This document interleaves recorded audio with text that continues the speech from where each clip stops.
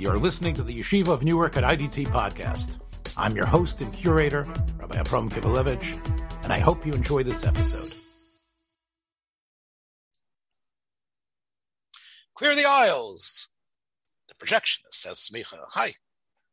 I'm here with Yitzhak Kolakowski, and you know, I'm not sure if a person has to die to uh, sort of uh, think about him and think about what they did.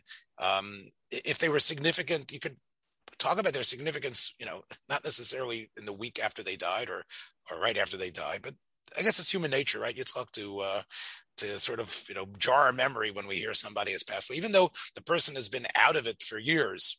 So I, I guess in the last week, uh, as we're recording this, uh, we have the deaths of a, a number of uh, people that were involved in uh, what this program is about, which is about old old movies and vintage TV. And uh, one of them is one of the is probably would love in his Ayul Emes uh, to be hearing this because he was all about darshaning.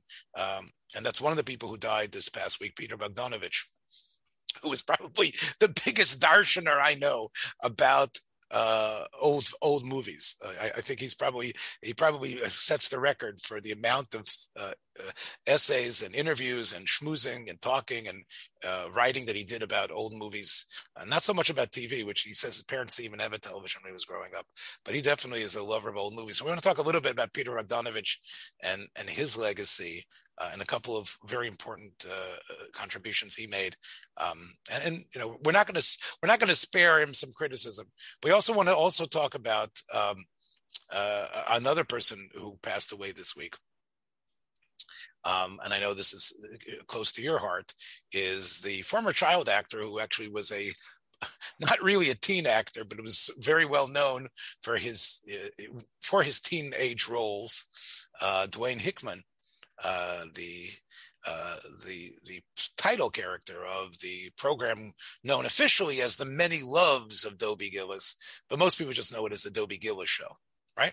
That's uh, that's Dwayne Hickman, and we also, I guess, could also. Uh, you know, throw in a mention of someone that we, I, I think we highlighted a couple of weeks ago, uh, Sidney Poitier, uh, who died uh, this week as well. So let, us start with with Bogdanovich. Um, and and in a way, you know, Bogdanovich, uh, uh, like I said, he is sort of uh, a movie rat, sort of like both of us in a way. Um, you know, growing up as a as a kid and gravitating towards old films.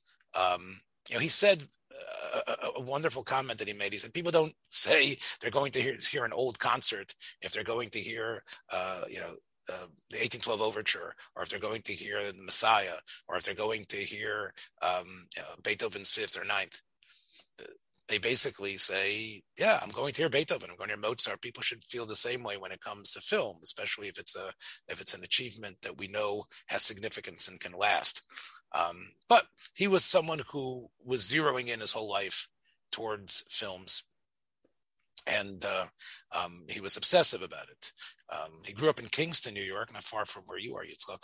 And um, know, in the theater there, that his dad took him. His, his mother is Jewish. His mother was Jewish. Uh, his dad was Serbian, not not not a Jew. A Bogdan, uh, Bogdanovich, some Bogdan, some some old Bogdan in the past was somehow his grandfather, but on his mother's side, he was a Jew. Uh, and obviously, uh, as, as, far as we're concerned, halachic Jew.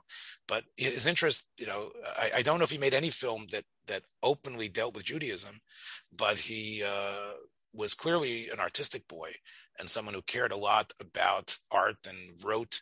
Even as a as a youngster, he wrote very intelligently and uh, to the point about all these movies that he that he that he saw. He kept a, a whole a, a, stack of note cards of every single movie he ever saw, and he organized them. He had them, um, and somehow, you know, when he moved to, to New York, he got involved in theater. Uh, he was just like one of his heroes and eventually one of his closest friends, Orson Welles. He was involved just as a teenager in, in theater, just like Orson Welles was involved in the Mercury Theater. He was uh, actually a director and an, an, actor, and then a director uh, of theater and off Broadway. Um, and uh, um, in the in the '60s, he started writing in the early 60s, he started writing for Esquire magazine uh, uh, and became a curator uh, in the Museum of Modern Art for retrospectives for Orson Welles and Alfred Hitchcock and, and John Ford. Uh, people that we've extolled here as well. And uh, as a curator, he this was like very new. Today, everybody does. Uh, you could do museum things about everyone, uh, but this was so very new at the time. Um, he brought an enthusiasm, a love of film, an understanding of how it was done. Um, not just hey, I like seeing a movie. He he really was into the nitty gritty. He also understood about actors and directing. Uh, and I think in 1965 or 66, when he moved out to California, he met Roger Corman, and um, you know they hit it off. Roger Corman appreciated films. He made schlocky movies, but he appreciated films. He appreciated great movies. He appreciated the type of writing that Bogdanovich did, and had it not been for Roger Corman, we don't know if Bogdanovich would have really become the filmmaker he became because Corman gave him uh, a number of jobs to do, a number of rewrites to do, um, some uh, uh, second unit directing, maybe even you know some prime directing and editing stuff that he was learning on some of the Corman films. The films with the it's one of these biker films that Corman made. I'm sure you know what it is, but the um, the angels. Um, Angels in the Desert or something like that. I, I forgot the name of the film, but but he was it was the one that I think was Peter Fonda's one of his first films and um, you know he uh, Corman eventually uh, uh, came to him after the great work that he did. Uh, Corman said, "Hey, how would you like to direct your own movie?" And Corman uh, gave him uh, a, a, a, hand in directing and to direct the film that he would have to sort of create the the movie. And we've talked about this. I, I, told you how funny this was because Corman had had a relationship with all the great old Hollywood uh, characters, including Boris Karloff, who uh, he made a film with Karloff uh, called The Terror. And Karloff still owed him. I guess he paid him enough money that Karloff owed him two days of work. So he told uh, Corm, uh, Corman told Bogdanovich, you know, and Bogdanovich at this point, you know, was uh, you know in his, his you know not yet even thirty years old. Uh, he told him, look, um, look, two days, I've made home movies in two days. You should be able to get at least uh, 20 minutes of film with uh, Karloff. You have two days to work with him. Uh, and you can use all this footage from this movie called The Terror, where you could also somehow insert in the film. Plus, do what else, do what else, do, do what you want with the other stuff, and you know whatever it's going to cost. I've got a little bit of a bankroll, and you know, put those things together. And somehow uh, Bogdanovich came up with a, a brilliant idea. Um, he was helped by Sam Fuller, another great Jewish director. And he came up with, with, with a movie called Targets, which I haven't been able to see, but I've I know enough about it, and I, I, think you know a little bit about it too. It, it's I think it might have been Karloff's last role, um, and last, he, he made quite a few that year just before he died. Just before he died. So it might have been one of his last. Uh, and, and he plays sort of himself. He plays a character called Basil Orlok. Uh, if you didn't get it, then it's Boris Karloff. Um, and uh, he's actually, you know, uh, making fun of this terrible movie called The Terror that that he had made with Corman. And somehow part of the film is the fact that the terror is going to be playing in some drive-in theater. And what what Bogdanovich came up with, I guess with Fuller's help, is the idea of interlacing old horror with the new horror that had already uh, reared its head in 1966. Charles Whitman standing on the top of the um, uh, tower in Austin, Texas, at the university, and picking people off um, you know, out in the street. Uh, I've already, as you remember, recommended the uh, the the the, anim- the animated uh, production called um, Tower, which is a great animation film, which I've already talked about, which people can can find if they can. But this was sort of a using Charles Whitman's ugly, horrible life of the day he did those sniper killings uh, to the point of uh, I forgot who the actor that uh, Bogdanovich used, but that actor was uh, going to be involved in you know sniping off people and shooting people, uh, and Karloff was going to be like the the sage who indicates that the old type of Victorian horror film that the terror was supposed to be doesn't scare anyone anymore because we've got scarier things out there that people who are just being picked off by insane snipers who, who, who butcher their family and then you know kill people indiscriminately. Um, I think that's the basic theme of the film, um, but it, it, got enough reviews, and of course Bogdanovich had to push himself to push this film because nobody wanted to distribute it, uh, and, and he was able to somehow get enough critics to see it that it was lauded by the New York Times and other reviewers. And there, Bogdanovich people said, "Hey, this guy's got something." Um, and he had already become, of course, friends with Orson Welles and many of the other names that he could drop in, in, in Hollywood. Orson Welles was not such a great name to drop, but somehow he was able to get uh, the the backing to in 1971 to uh, to film uh, a uh, a adaptation of a novel by Larry McMurtry called The Last Picture Show, and um, uh, you know this was a film that I remember very distinctly when it came out. Um, it was rated R, and I'm not going to recommend uh, as a pick. I can tell you that it is a, a startling, beautiful film in black and white. Uh, Welles advised him to do it in black and white. It's about, of course, a dying town in the 1950s in Texas. And it's really about the idea of how the world had begun to change uh, in 1950 or so um, and how old ideals about the West and about nobility um, really have faded away completely, about the emptiness of modern life and when it began. Uh, it had incredible performances, really, and again, it, notched an Oscar um, for uh, Ben Johnson, who was one of John Ford's uh, usual road crew in, in some, many of his films. Not road crew, meaning he was part of the people that played parts in Johnson John Ford's films. And Cloris Leachman, um, who, you know, at the same time, I think she was playing uh, Phyllis on the Mary Tyler Moore Show, a program that we talked about a couple weeks ago.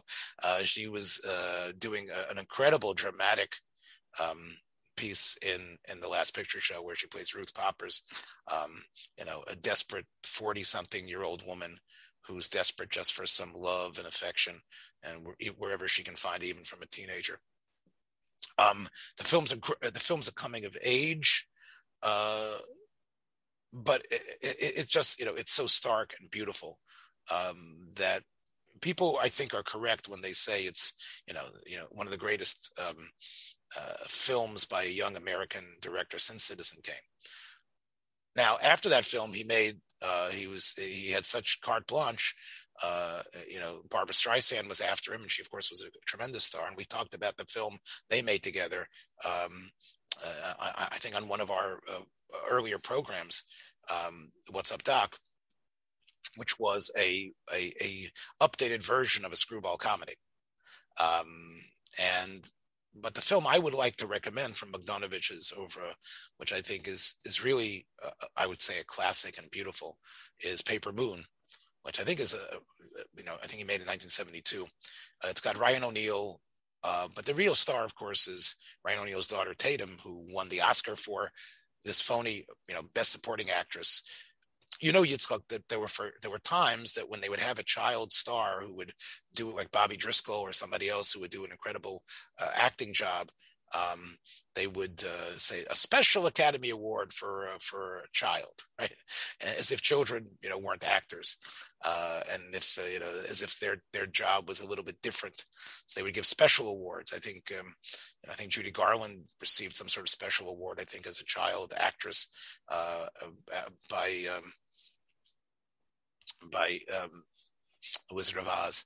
Uh, but at this point, the, the, the, Academy understood, you know, that you can't make that difference. And um, however, uh, instead of calling her the best actress, although she's in she's in almost every frame of the film, uh, they called her a supporting actress, and this way they could throw her the Oscar.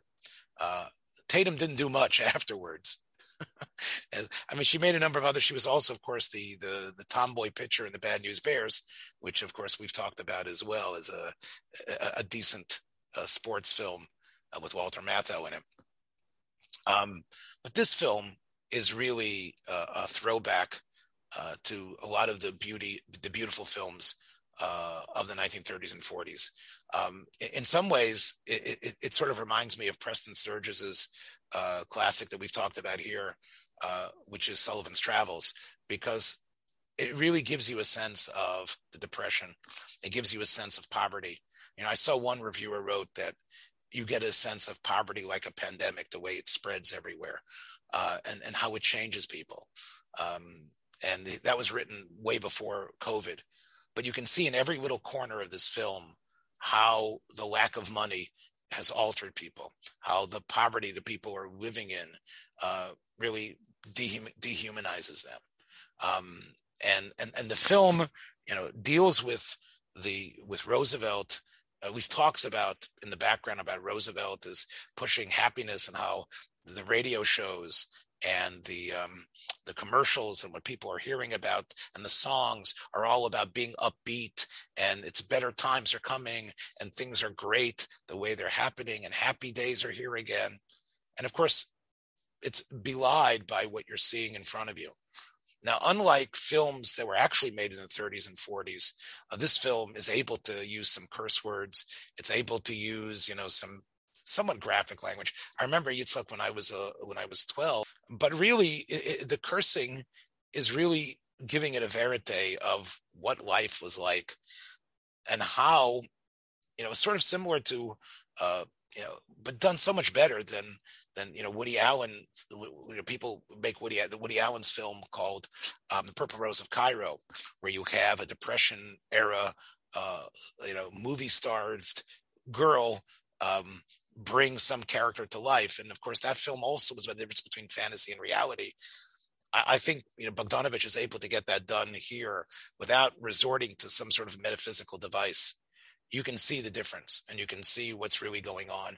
You can see there's still some some aspect of decent humanity, but you can see the way poverty and difficulty inserted itself into people throughout what's what we sometimes consider the idyllic, beautiful sylvan you know plain states where everybody's just a good decent person but you can see that everyone's trying to get a, a, a leg up off, off each other. And and and the relationship between tatum and ryan between addie and mose is they become con artists. And you know they basically on what seems to be just a trip from kansas to missouri they end up of course making various detours and ripping people off, coming up with various schemes of uh, you know, selling Bibles to old widows, to, uh, widows who have just lost their husbands, and using emotion to to sort of get them to pay jacked up prices for these Bibles that, of course, were never ordered by their husband at all. Um, and you know, Ryan O'Neal uh, does a great job playing a scamp uh, that you don't see as, as as a real villain. In fact, I think that's one of the great parts of this film is that you know even the the the corrupt policemen uh, who you can see how you know they're they're, they're in cahoots with the bootleggers um, or the you know the the farm boys that are you know just waiting to wrestle they aren't grotesque monsters. Uh, Bogdanovich is very kind to his characters um, and, and of course that's the quality of the writing but it also is the fact that um, you know the way he films them.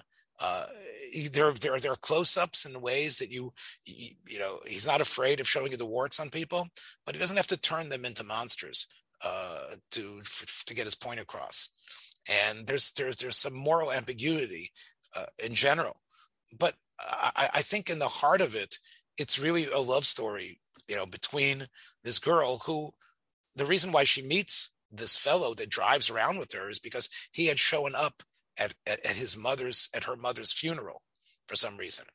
It's clear that her mother was a loose woman in some city in Kansas, and that he was had been somewhat of a boyfriend of the mother, and he felt bad enough that he showed up uh, at the funeral, which lends the whole question: Is he her father?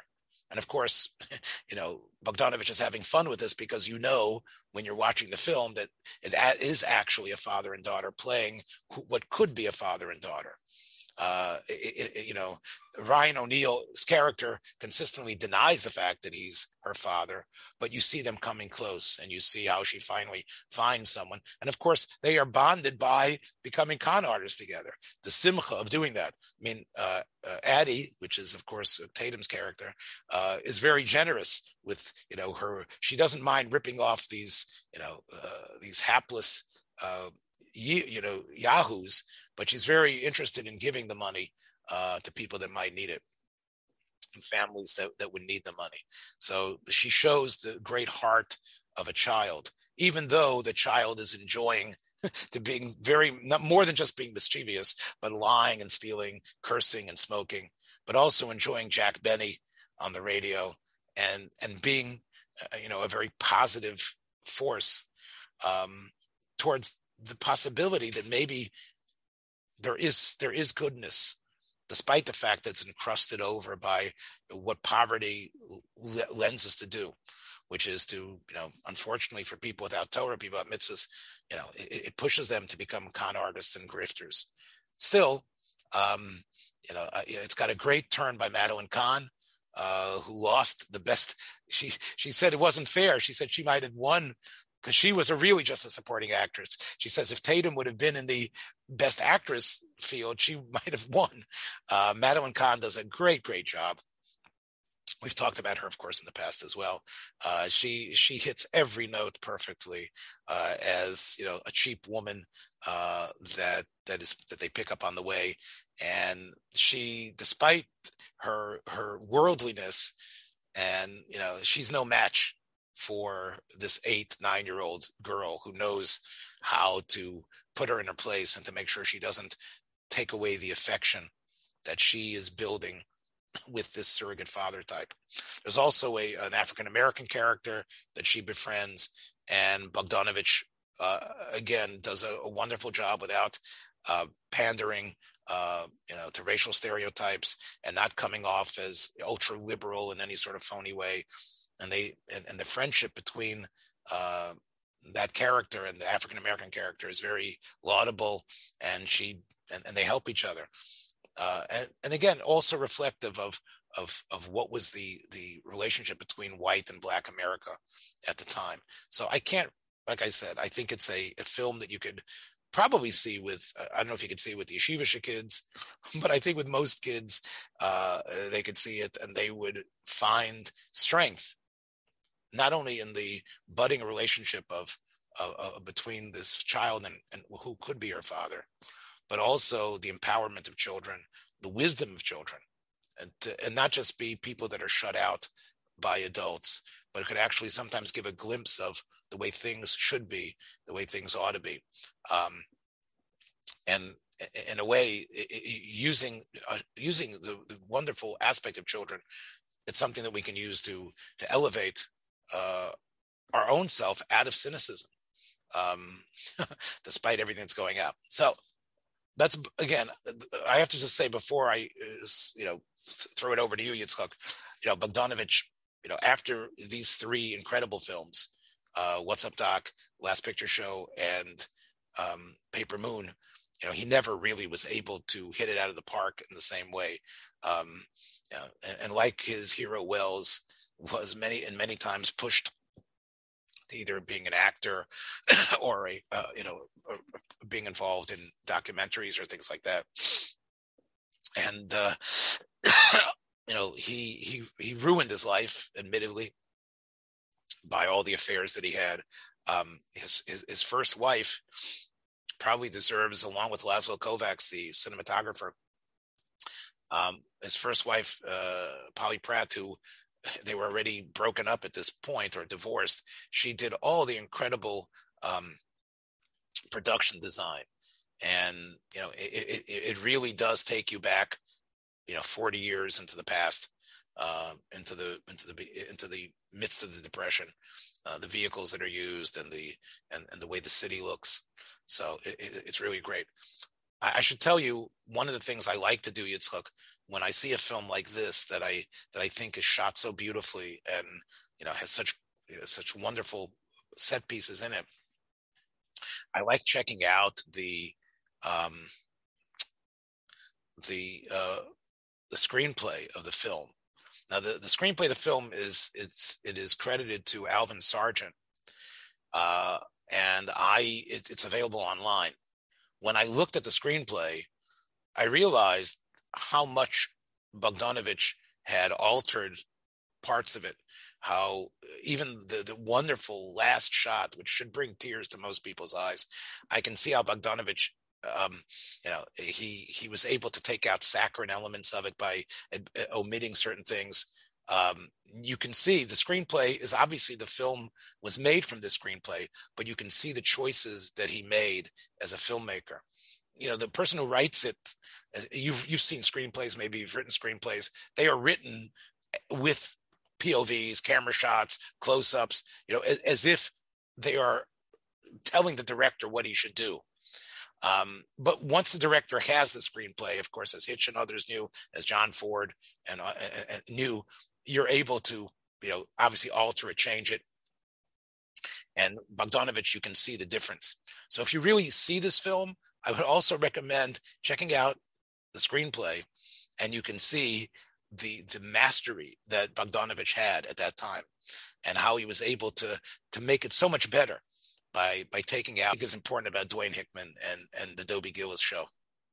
Well, one thing is that the show was the first television show to focus, even though obviously uh, Hickman himself was was out of his teens by the time he was playing Dobie Gillis. It was a character that had existed in in in uh, in, in written form already for over a decade, and there was another film with with other actors play uh, of the story of, of Dobie Gillis, uh, the many loves of Dobie Gillis. But then finally, when they made it the television show, it wasn't just Hickman himself, who we lost this week, but uh, the ensemble cast there. When you had uh, certainly uh, pre Gilligan uh, Bob Denver as Maynard G. Krebs, who was who was a a, a beatnik who was afraid to work uh, the anytime you know one of his one of his his catchphrases whenever he would hear the word work he, he was like work and then there,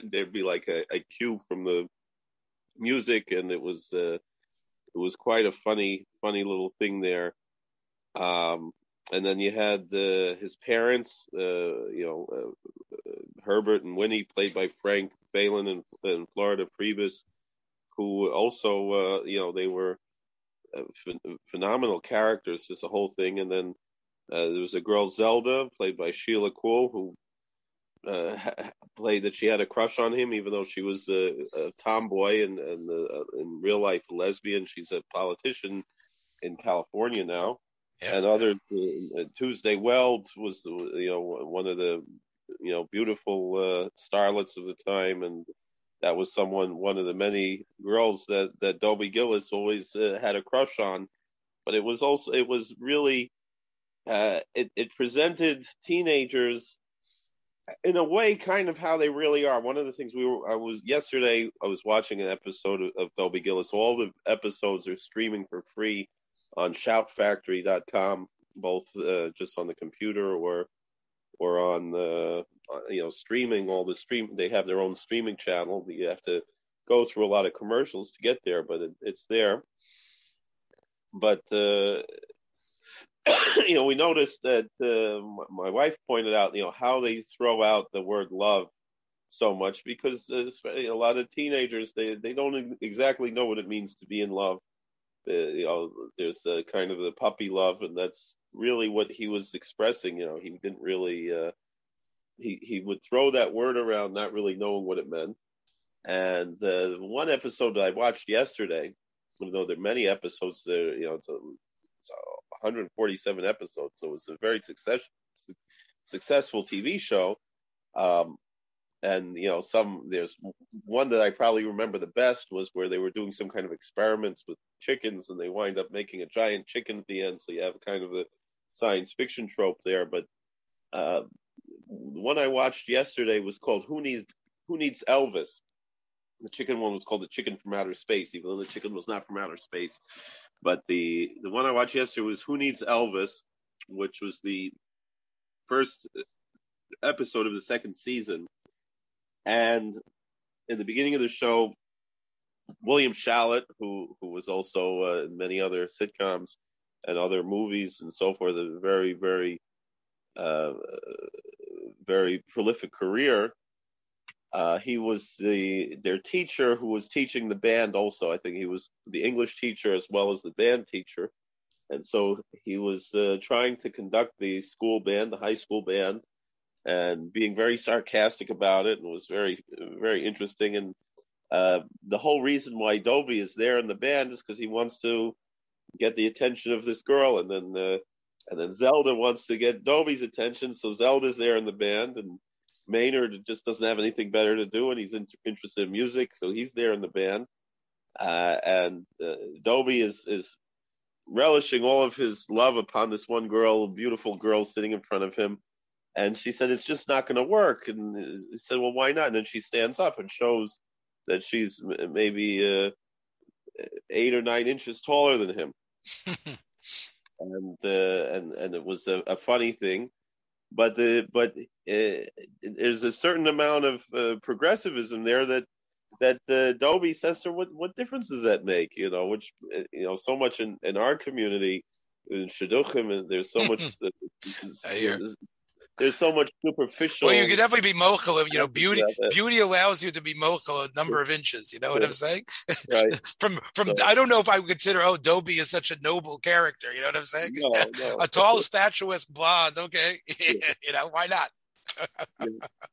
so. Um, uh, so then uh, she, but then she winds up being interested because she's interested in uh, in um, in jazz music, so she's she's more connected to she's more connected to Maynard. yeah, she wants she wants she wants to go steady with Maynard, but he just really has no interest in girls. He just wants to be a, a, a lazy beatnik and and play his music. But then Dobie figures, uh, you know, as you said, he's not a very uh, he, he's not a very noble character. He figures, well, how will he keep her? Is by having uh, Maynard be, be the uh, be the martyr of going steady with her just to kind of keep her from going out with anybody else. And since he's not really interested in her, that that's going to make it, uh, you know, fine. So he is, uh, but meanwhile, Maynard actually gets interested in her. Mm. So then, so then Zelda. Maynard is, he's still human, Maynard, right? Yes. and, and Zelda comes up with an idea that, that Dobie should, should, you know, perform a song ostensibly that, cause, you know, the, the teacher played by William Schallert says that you know he's going to make a contest whoever can can compose a jazz uh, composition. And Dobie gets up and play and sings and plays a song where he's just actually lip syncing uh, but he's ostensibly actually singing uh, that Zelda wrote for him in order you know she she kind of was uh, you know uh, martyring herself writing this song so that Dobie could could impressed. Dobie would love her, and she's sort of like Rachel giving over the simanim to Leah. Yeah. She gives yeah. over the song to Dobie for Dobie to try to impress this this this Amazon woman. yeah, yeah. uh, and, but then he does, he does the right thing in the end, and it's uh, realizing that that it's you know in other words he, i think every show i guess he loses the girl right i mean that's the point right, right? right. every yeah. show ends with that shtick that he loses the girl so and he's always he, always, he's always sitting you know in front of a, a, a statue of the thinker of rodin's the thinker and someone pointed out which i never thought of was that he was really kind of the teenage version of, of jack benny that you mentioned jack benny the the kind of deadpan humor, looking at the camera, breaking the the the, the fourth the third wall, fourth wall, and uh, yeah, I, I, I, I look, you know, Yitzchak, um, you know, my um, I grew up in a house with an older brother who remembered the Dobie Gillis show. I again by the time by the time I was cognizant the show had been canceled. In 1963. Yeah. But I remember my brother always talking about it and always loving it because he thought it was really wild and the plots were very wild. I remember him telling me there's a one time Bob Denver gets superpowers or something like that. I don't know. Like they had they had a thing like that. I mean, uh, I, I think you're you're correct. The the film, uh, the, the the movie in the 50s and this television show um, was really part of uh, sort of an obsession with youth culture and what was going on with them and trying so to understand it, them. It started it before it really opened that because meaning that became you know Roger Corman made all the teenage and not only Roger Corman but all the American International they made all of these you know teenage movies and that was all kind of after. Uh, I, I, don't know. You so you know Nicholas Ray already made uh, you know um, Rebel Without a Cause uh, in, in the mid '50s. Uh, there was a Blackboard Jungle. There were a lot of films but but the difference is those films you know spent a lot of time with the teenagers but also gave you the adults especially rebel without a cause uh, and, and that was clearly the obsession of of America was the juvenile delinquents, and J. Edgar Hoover opened up a whole uh, section of the FBI to try to figure out what's going on, and maybe the communists are behind the whole JD thing. But here, you know, this was, I think, uh, the beatnik era. Uh, you know, ushered in something a little bit different. It wasn't that they were delinquents, but they were somehow kooky and, and, and totally different. Uh, their dances were different. Um, you know, they were moving towards, I guess, a more Eastern philosophical uh, way of looking at things. Uh, it, it, sort of predates what we know as the real youth cultural revolution of the mid 60s that the Beatles heralded in. So it's sort of, you know, it's it's it's it's, it's feeling the sense that the kids are becoming much more primal um, and adults are obsessed with them. And this might be a story that this might be a program that allows children, allows adults to to get a real sense of what what's going on with these kids. Like sort of like you know the like like Bye Bye Birdie. You know what's the matter with kids today? Here's a here's a program that zeroes in on them, uh, but you know I, I, guess not in sort of a Leave It to Beaver uh, sweet way. You know there there's an element of of I don't know if it's risque, but definitely you know there's uh, it's not it's not rose colored. Yeah, it, it, it, you know maybe by our standards it could be it could be considered risque. I would say you know you by know. by frum standards, but but yeah. I say but even in the in the time when it was when it became a hit show, you know it was not it was it was meant not, not necessarily to show the the wisdom of the adults, right? I, I think part of Leave It Beaver has to do with you know the adults um, giving you the lessons for the kids. I mean, there's a lot of time spent with with with, with Wally and the Beaver, but right. there's also a tremendous amount of time spent with the parents and and the interaction, the parents giving direction to those children. Oh, I don't know if in Dobie Gillis, although you talked about the actors who played the parents, the, does every program end with the parent giving the lesson, like like in Happy Days, or like the first episodes of Happy Days, the first two seasons of Happy Days, or is it really, you know, this is the world of Dobie and his friends? I think yeah, it's because, you know the the father is is really uh he's a hard nosed, you know, very uh difficult difficult type of dad. He's not he's not one of he's not Ward Cleaver. He's you know he's a hardworking shopkeep. He owns you know he owns a supermarket or a, or a grocery store, not a supermarket, a small grocery store and that's you know and, and he's not he's not a very friendly guy. He's kind of the forerunner for you know I, I in, in, king of the hill you know hank would always say that the boy ain't right. And it was that you know whereas hank hill was maybe a little bit more friendly to his son bobby than than uh than than than this character is. But it was it was really uh you know obviously this was someone who had served in world war ii and you know, came back and now he's trying to, you know, live the American dream and everything, and and he has to deal with this, uh, you know, his son who just wants money and and uh, you know doesn't doesn't really uh, respect him, doesn't really appreciate everything that he does for him, and so it's uh, it, it it's it's definitely a very uh, different different type. It's much more gritty, much more while still being goofy and funny. Um, but it doesn't necessarily it doesn't necessarily uh, explore that relationship in any sort of deep way. Um, you know, I, I, think you know the the you know um, Zelda's character, and you know, she was an actress. You know, she looked cool. They, there was actually a lot of talk about a spin-off program for her. Uh, they were going to have a, a, a, series called Zelda after Dobie was canceled, or maybe even while Dobie was running.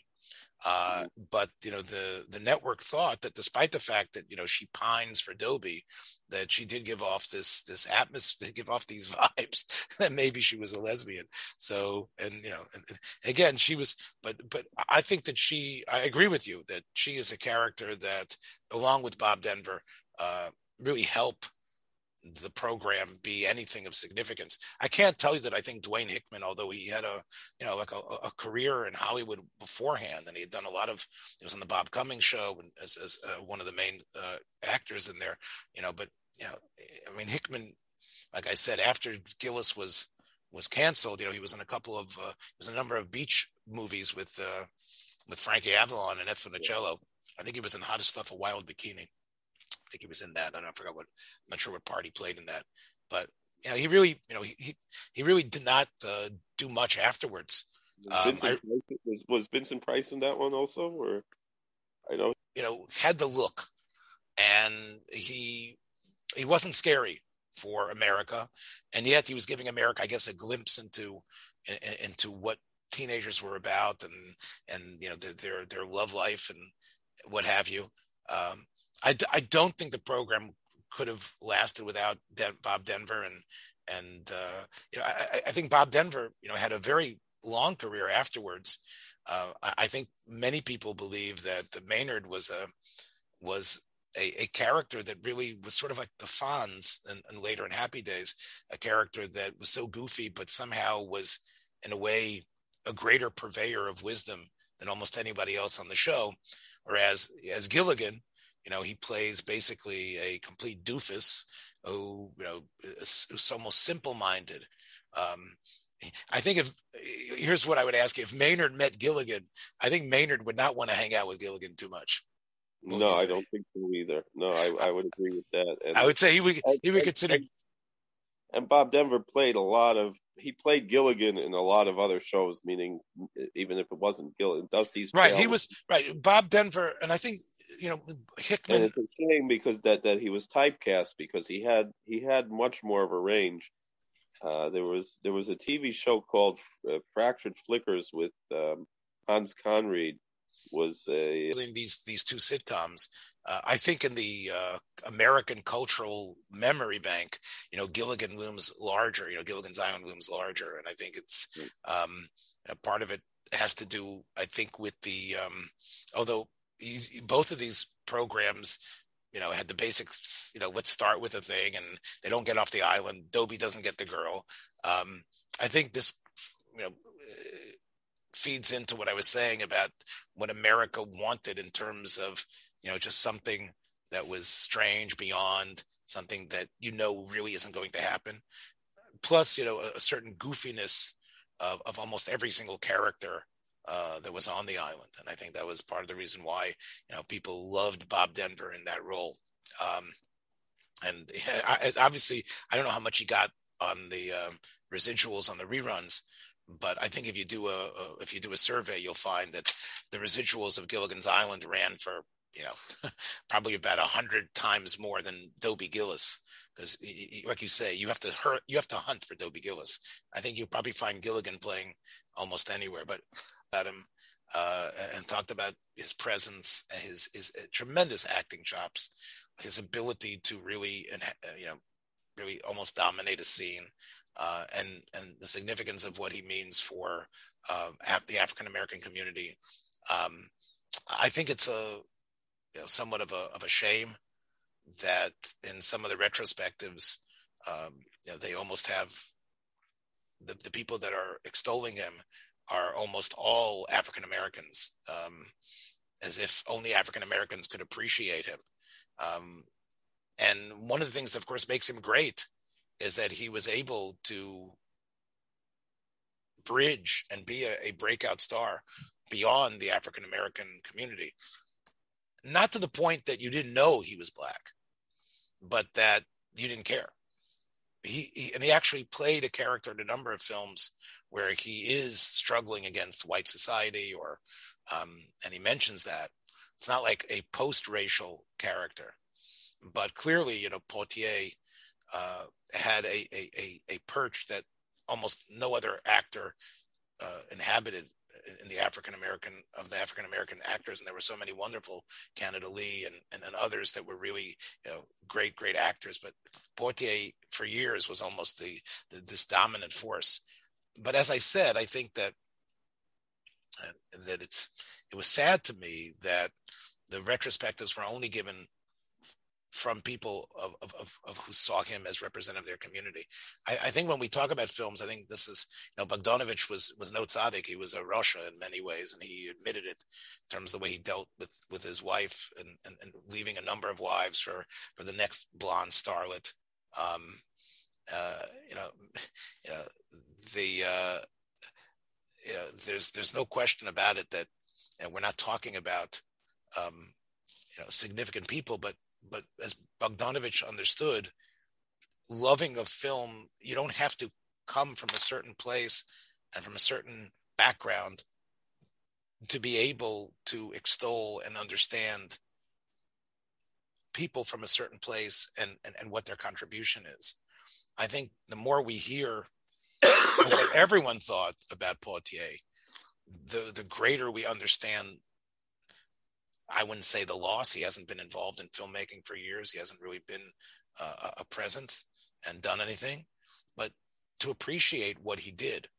And I, I, I would like to hear more of what, you know, the, what, what everybody would say, you know, about stuff. And I think both of us share what we consider this, this era, uh, this, this uncomfortability with this era that we're living in, that, that, you know, it's almost like, okay, well, uh, you know, uh, if we want to talk about Buddy Hackett, you have to be Jewish. You know what I'm saying? Like, you know, so somehow it doesn't work for us, right? You know, you know yeah, no. Can, in fact, just the opposite. You get in trouble if you if you suggest that, that if you're upset that that someone who's uh, you know who's a Helen Mirren is playing uh, Golda Meir. Well, that's different. That that that's acceptable. It's just it's not acceptable for for a white actor to play Dr. Hibbert, or or we we can't even have we can't even have uh, Apu anymore because it, it's it's too offensive. You know, right, right. And so, so, so, I think it's unfortunate how frozen out we are.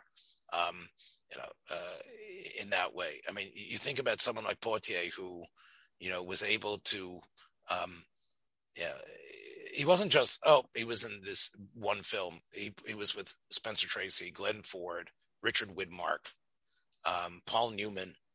Uh, he was in films and shared a top billing with all of these actors. Um, and um, you know, he was part of that glorious you know era, you know, the, the, last great period of you know of, of, Hollywood studio films in the 1950s and 60s. And I think that um, you know there's a uh, the, it, he needs to be recognized uh, for his body of work, for his contribution to these to, to, old movies and to films generally. I don't want to, like Bogdanovich would say, you know, to, to great films in general. Um, I think that, uh, you know, you know, to me, uh, you know, you know, I have used his films, um, especially to stir with love, to serve with love. I'm sorry, stir with love. to serve with love. I got mixed up there. To serve with love, I've used that film uh, when I tried to speak to my classes uh, when I was teaching high school, you know, I would show them, uh, you know, Poitier's uh, his first teaching uh, st- station. You know, when he was before he changes things, and I would ask them, okay, what did he do wrong? Why wasn't he an effective teacher? What should he have done? And my students would tell me, anticipating the changes Poitier himself makes in the film to become a, successful teacher in a tough uh, West End uh, London, you know, West End of London High School. And um, you know, it's a very again, it's it's I wouldn't say it's a uh, it, it, it's it's it's a very tempered, restrained performance, uh, but you see his his angst, and not as a black man of any teacher. Um, the fact that he's black is really somewhat irrelevant. The main thing is is that um, is that how does a teacher learn how to connect to students? How do you make things relevant? how do you uh, what's considered real expectations? So I think for for for teachers and for students, uh, you know, to serve with love is is really a standout film. Um, and it, it, again, yeah, it, very little objectionable material is in it, and I think for any Rebbe who is having a problem with, you know, discipline, um, maybe even for parents who are who are struggling with how can they, you know, their their kids are out of control. What, what can they do? Shouting isn't helping. Screaming isn't helping. What are the, what's what's the methods that work?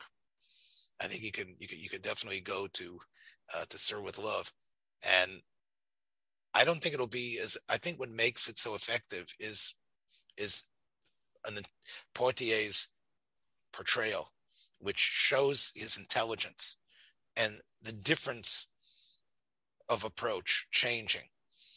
The idea of I'm going to do it this way, we're going to do it a different way.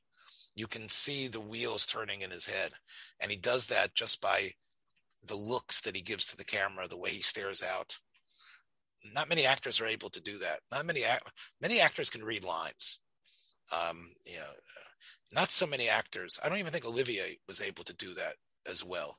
I mean, Olivier was incredible in, in line reading and being able to to to to you know, to use to to assume a certain character. But a movie star is able just by looking out the window in a certain way to somehow give over what's going on in his internal what what's going on in the internal mechanism. Well, I mean, we don't have you know that that that the great ones have. Right. Tracy had it. Um, yeah. You, you, know, Bogart had it some in, in, many of his films, not all of them, but right. you know, it, it isn't just Spencer Tracy's definitely had it. it you know, his he would just he, he he didn't have to say anything. That's right. Like you could that see that we were speaking about last week about the between the silent film and the talkie. You know where. You know, again, you can see that the Fritz Lang film that Trace that, that that Tracy was in Fury, which we've talked about yeah. before. You you can see, you know, Tracy um, even in Dr. Jekyll and Mr. Hyde, which is not uh, such a great version of it with Tracy in it, you know, Tracy's able, Tracy was able to do a tremendous amount, or even in Justice in Nuremberg, where yeah. he is walking and, and thinking about what's what's going on in the trial. Um, Tracy had it. Poitier has it. Um, you know, you, you, can see it in some of them, and I think that's really the special gift that the directors like Bogdanovich and others are able to capture on film. They're able to capture that, and of course, using lighting techniques and other things to to bring that out. There's a certain the, the talent of the actor to grasp what it is that's going on and what's asked for them to to imitate that and to be able to project it in sort of an exaggerated way that the audience picks it up but not in a way that they need it to be they need exposition to explain it. Um, that they have to like you know like talking to the dog or something like that. Oh you know what's going on inside their mind and that is something that I think that, you know Poitier shows in, in To Serve with Love and in, in The Heat of the Night and and, and, and many of his other uh, many of his many of the other things that he was in. Uh, and that way, again, he's sort of like it, it, I wouldn't call him in my mind. I wouldn't even. I don't even. I was oh, he's this this great black actor. He is. He's just a great actor. He's just a great actor. He, yeah. he he is a great actor who who. Brings- you know, he he gave a lot of credit to coworker. He was he was he came from uh, what what one of the islands in the in, in the Jamaica or something. He, he had a very thick accent, and he was working as a you know washing dishes in a restaurant. And he said that it was a an older Jewish man who was a, a waiter there at the restaurant who taught him how to read, helped him, you know, be able to to uh, imitate an American accent and because he wanted to act, but he just it, he didn't have because he couldn't even read. So how could he how could he act? He had this dream of being an actor, and he, he wasn't able to do it. And it was this it was this uh, this old Jewish man who who was his coworker who saw that potential in him and and uh, put in time. He he saw him with the newspaper, and he was struggling, and he said, you know. Uh, we're every night we're going to sit and we're going to read together. I'm going to read with you and teach you how to read and uh, that was and and and they spent weeks and weeks and weeks every night dedicated to this until he was able to read, and then once he could read the newspaper, he could read his lines, and, and that, yeah, and, and deliver them and deliver them with uh, with great intelligence.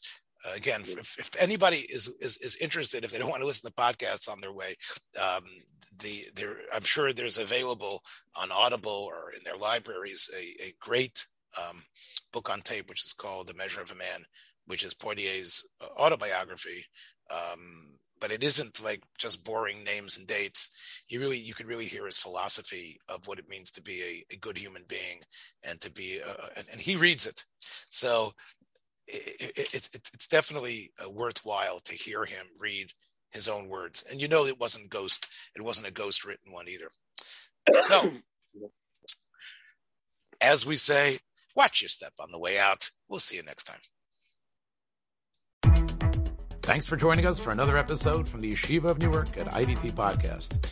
Be sure to subscribe on your favorite podcast app so you don't miss a single episode.